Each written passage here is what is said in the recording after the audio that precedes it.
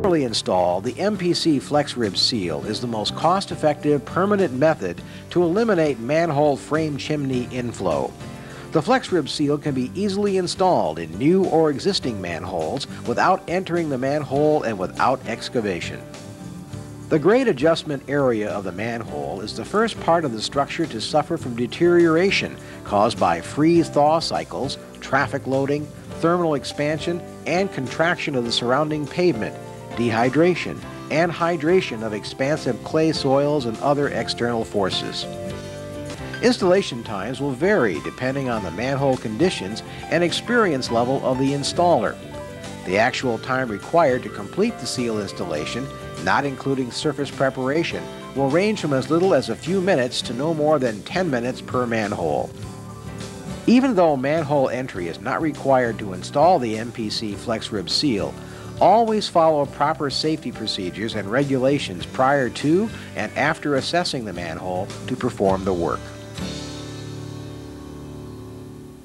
Either a manual or hydraulic band expansion tool is required to properly install the flex rib seal.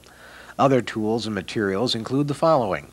1 2 inch drive ratchet and torque wrench with 1 inch socket if manual tool is used, tape measure, wire brush, chipping hammer, margin trowel, angle tip pry bar, work gloves, and safety glasses.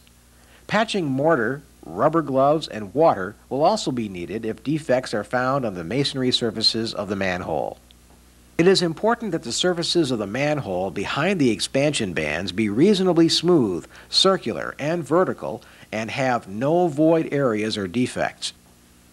Repair any defects using a non-shrink single component repair mortar designed for vertical application.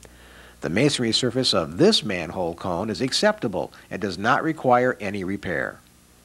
To install the flex rib seal into the manhole, pinch or fold the rubber seal in the middle and place it through the frame casting opening. Open and push out the sides of the rubber seal so they contact the frame casting and manhole cone surfaces.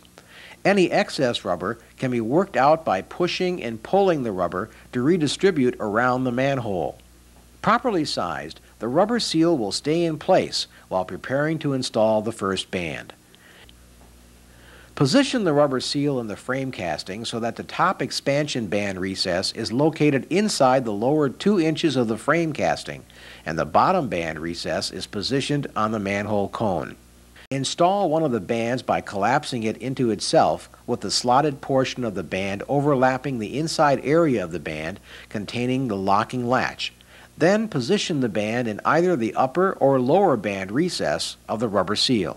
Position the installation tool into the expansion band with the slotted tip engaged in the first available jacking window and the pusher tip fitting into the depressions of the band so that it will contact the surface of the overlapping end of the band.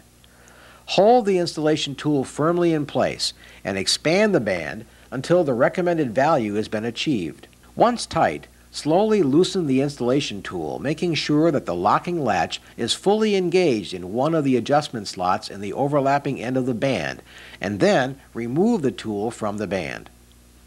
Install the second band in the remaining band recess. Position the installation tool and expand the band to the recommended value. Once tight, slowly loosen and remove the installation tool, making sure that the locking latch is fully engaged in one of the adjustment slots in the overlapping end of the band. This completes the installation process.